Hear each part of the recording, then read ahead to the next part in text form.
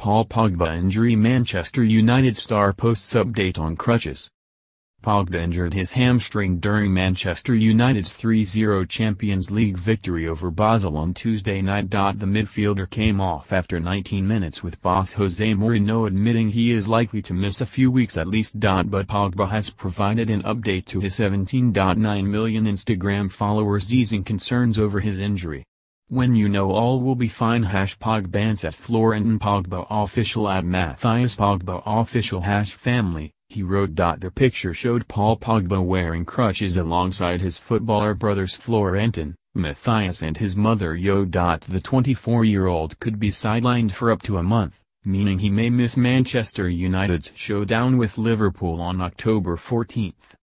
I don't know what the severity is, Jose Mourinho told MUTV after the match. I just know from experience it's a muscular injury.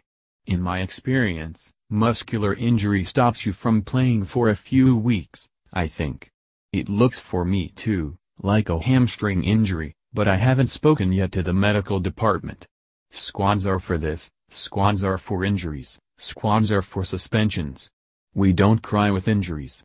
So if no Paul for Sunday, we have, Ander, Herrera, we have, Michael, Carrick, we have Fellaini and we have, Nemanja.